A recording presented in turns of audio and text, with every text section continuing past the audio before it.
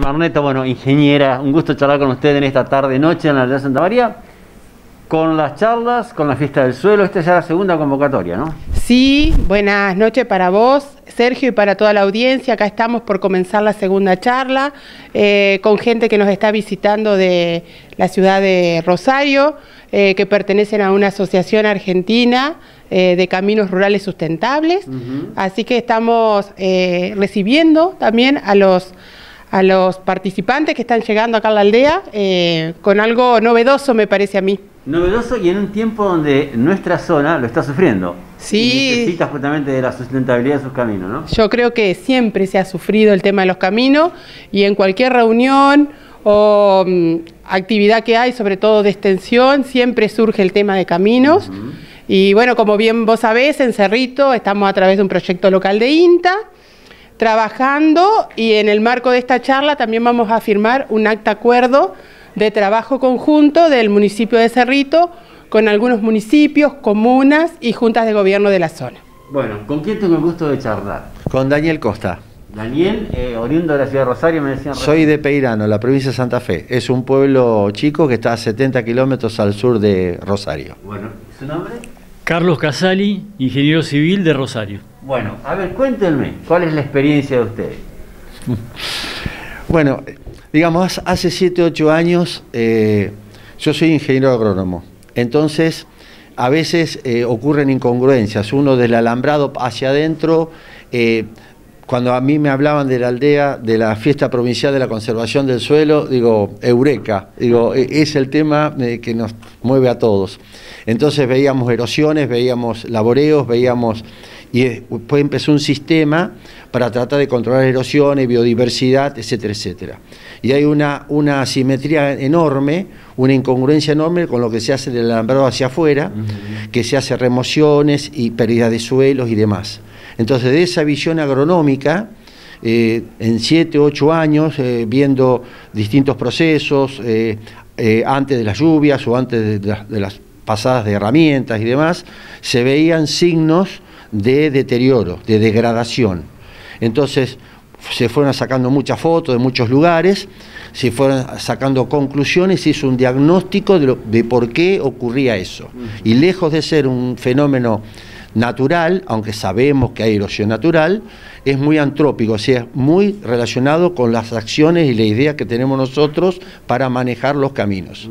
Y en definitiva, eh, hay otra cuestión un poco culposa de mi parte, porque, digamos, uno no tenía la centrado en una especialización no veíamos lo evidente, lo que estaba al lado, que era la degradación.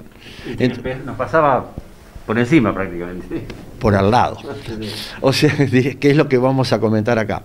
Entonces, se hizo un diagnóstico, se llegaron a conclusiones y con simples principios nos damos cuenta que hay que cambiar el sistema, otra forma, de la misma manera o muy semejante eh, al sistema de convencional a, directa. O sea, cuando yo escuchaba acá unos productores que me contaban que esto y, y, María José, le invoqué, que em, me comentaba que esta fiesta surgió como una reacción, digamos, positiva, proactiva, a, una, a un colapso de los suelos que nos ocurrió a nosotros, primero en el sudeste cordobés y después a nosotros.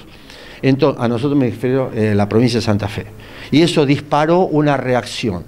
Eh, eh, bueno, eso, en definitiva, eh, si ustedes ahora festejan, a mí la verdad que me gusta siempre, siempre me gustó Entre Ríos, tuve una chacra acá a unos kilómetros, y, y cuando vi una fiesta y de tantos años que la están haciendo, digo, ¿qué habrá pasado para que sea eso? Y bueno, me lo explicaron.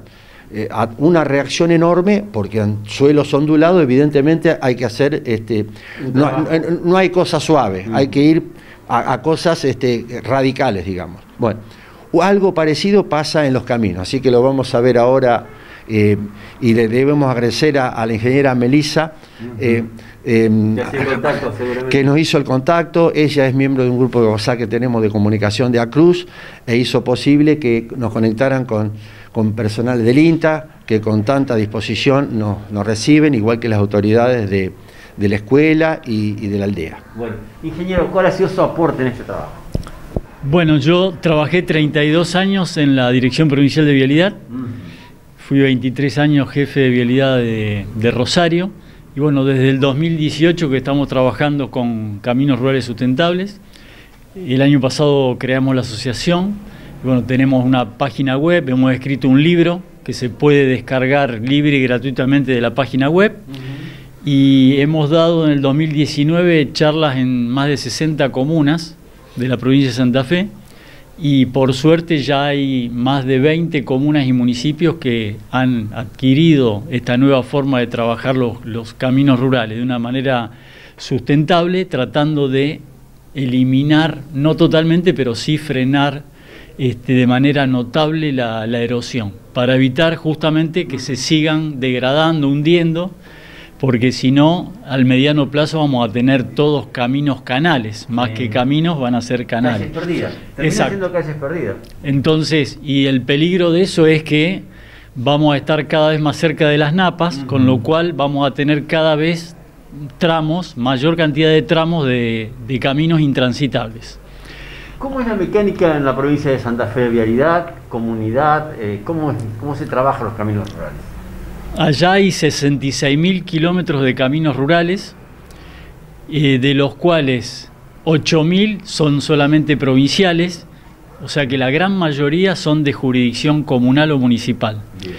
Y Vialidad Provincial firma convenio con las comunas para mantener las rutas provinciales. Por lo tanto, el mantenimiento de los caminos rurales en la provincia de Santa Fe depende totalmente De las comunas. de las comunas. Entonces, por eso nosotros vamos a dar charlas a las comunas para que traten de empezar a, a, sistem- trabajar. a trabajar en forma sustentable los, los caminos. Y bueno, ya hay muchas comunas trabajando en este sentido, ya se ven muchos caminos este, rurales verdes, digamos, ¿no? empastados, con sus veredas, cunetas y banquinas verdes, lo cual hace que cuando viene la precipitación, el pasto y la vegetación hace de colchón para infiltrar grandes volúmenes de agua, ¿no?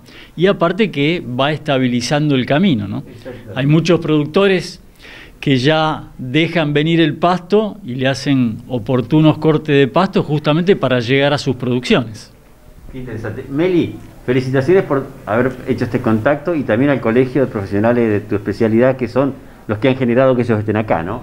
Sí, sí, no, muy agradecida a Daniel, a Carlos que hayan venido eh, y también al colegio, al COPAER que ha apoyado totalmente eh, esta, esta charla, eh, así que no, totalmente agradecida de que hayan podido venir, que nos den a conocer todo lo que han estado trabajando y que bueno, que aprendamos también desde acá de Entre Ríos a, a copiar un poco esta metodología, empezar a aplicarla también acá en nuestros caminos y bueno, que espero que, que podamos mejorar también nuestros caminos en nuestras zonas rurales. Que comencemos a hablar de otra manera este Sí. tema de los caminos. Sí, sí, con ese pensamiento de la sustentabilidad que tanto lo necesitamos y, y bueno, trabajar también un poco más en conjunto, ¿no es cierto? Este, eh, junto a las comunas, con vialidad y bueno, empezar un poco a hacer el foco nuestros caminos rurales que tanta atención necesitan. Sí. Exactamente, para que no se vaya la gente, para que estemos más comunicados, para que todo sea mejor. Sí, claro que sí, sí, lo necesitamos todo. Desde el que vive en el campo también y como el que vive en la, en ciudad también necesitamos que, que la producción llegue, que los alimentos lleguen, así que eh, es indispensable el, el buen estado del camino. Bueno, gente, muchas gracias, buena estadía. Gracias a ustedes. Gracias a usted recibirnos. por la oportunidad. ¿eh?